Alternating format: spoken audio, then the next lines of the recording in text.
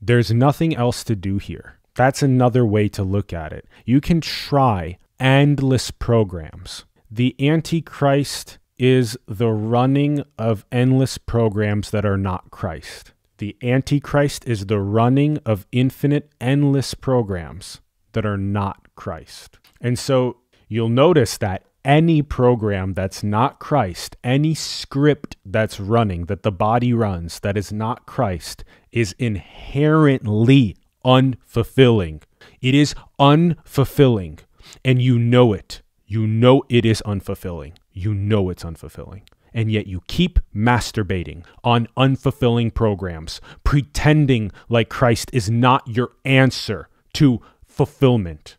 You know Christ is your answer to fulfillment. You know you need to crucify all of your bullshit scripts in order to feel the fulfillment of taking on the collective sins and healing the totality to abundance and prosperity. You know that that's the only pathway, and you pretend like it's not the only pathway. And you spin around in all kinds of cesspools of circles of programs and scripts and nonsense and masturbations.